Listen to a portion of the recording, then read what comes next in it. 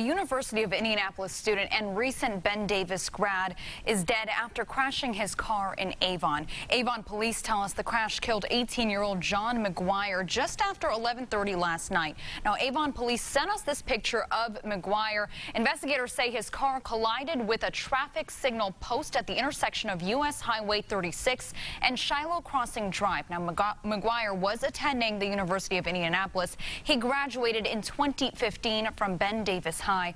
Officers say his family is in need of help to cover his funeral expenses. If you would like to help, you could head out to the RTV6 app or the IndyChannel.com for more information.